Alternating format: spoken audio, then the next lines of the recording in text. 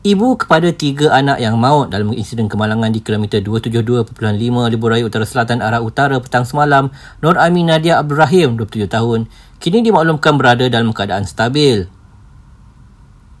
Abang mangsa Muhammad Jazli Aiman, 31 tahun berkata, adiknya dilaporkan doktor berada dalam keadaan stabil dan dipindahkan ke unit rawatan rapi ICU pagi tadi.